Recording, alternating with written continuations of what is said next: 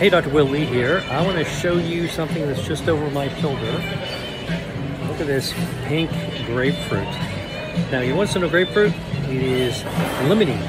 Limonene has been shown to activate your brown fat using thermogenesis to help you burn down harmful white fat. So if you want to actually improve your metabolism and you want to learn how to use food to do it, I'm inviting you to sign up for my Elevate Your Metabolism online course. Links in the bio.